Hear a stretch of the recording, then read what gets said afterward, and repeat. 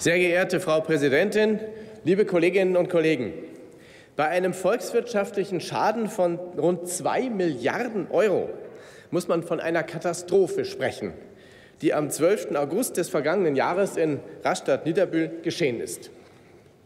An diesem Tag gab während der Tunnelarbeiten unterhalb der Rheintalbahn das Erdreich nach. Die Strecke war für 51 Tage komplett blockiert. Der Kollege Dr. Jung hat das schon erwähnt. Die Auswirkungen auf Logistikunternehmen, deren Kunden, die Bahn selbst und abertausende Fahrgäste waren gravierend. Außerdem sind einige Kunden wegen der wochenlangen Behinderungen dauerhaft von der Schiene auf andere Verkehrsträger abgewandert, hauptsächlich auf die Straße.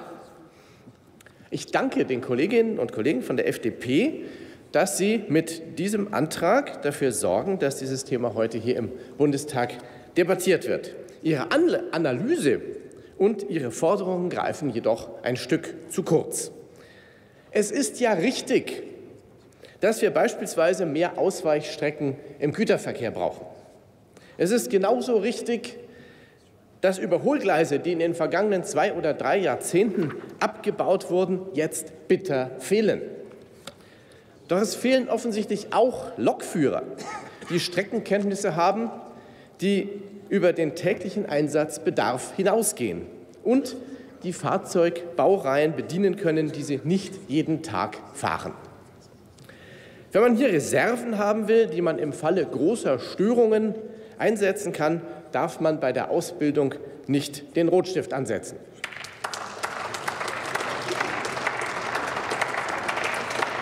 Das Kernproblem ist bei allen diesen drei Punkten eine kurzsichtige Betrachtung eines Bahnbetriebs, der auf Kante genäht ist. Hier kommt schnell der Verdacht auf, dass kurzfristige Optimierungen einer langfristigen Sichtweise vorgezogen wurden, die sich an einem nachhaltigen und dauerhaft funktionsfähigen Bahnbetrieb orientieren muss. Mitverursacht wurde das durch eine Privatisierung ohne ausreichende Kontrolle.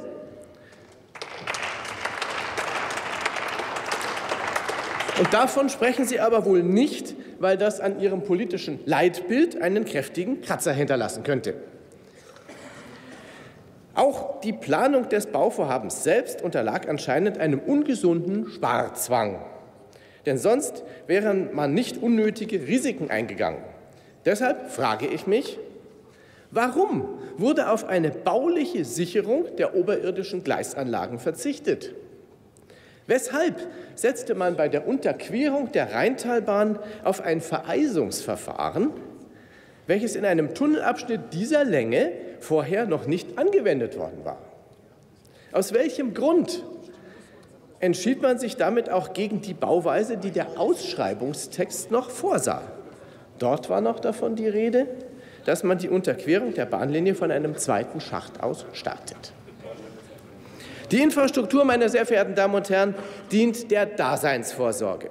Übertriebenes Sparen führt hier nicht zum Ziel, wie der Fall Rastatt zeigt.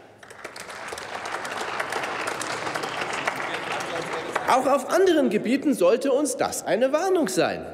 Die Privatisierung der kommunalen Wasserversorgung, wie sie von der Europäischen Union betrieben wird, muss keineswegs eine Verbesserung der Verhältnisse bringen.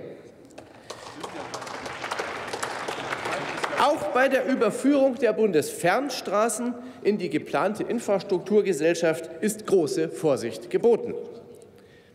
Und für Bauvorhaben im Schienennetz bedeutet diese Erkenntnis, bei der Planung muss die Sicherheit der Bauausführung im Vordergrund stehen.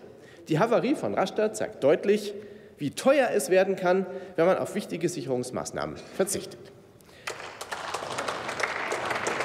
Es müssen verstärkt allgemeine Notfallkonzepte entwickelt werden. Unfälle und Unglücke können schließlich an jedem Punkt des Schienennetzes passieren. Die Bahn muss ihre personellen Kapazitäten erweitern. Umfassende Ausbildung hätte die Suche nach Strecken- und fahrzeugkundigen Lokführern nach der Streckensperrung erleichtert. Nutzen wir also die schlimme Erfahrung der Katastrophe von Rastatt auch ganz allgemein, um die richtigen Schlüsse zu ziehen. Infrastruktur ist Daseinsvorsorge. In notwendige Planungen im wohlverstandenen langfristigen Sinn müssen wir investieren. Aber auch die Privatisierung darf nicht zum Selbstzweck werden. Die AfD-Fraktion sieht der Beratung im Ausschuss mit großem Interesse entgegen. Vielen Dank für Ihre Aufmerksamkeit.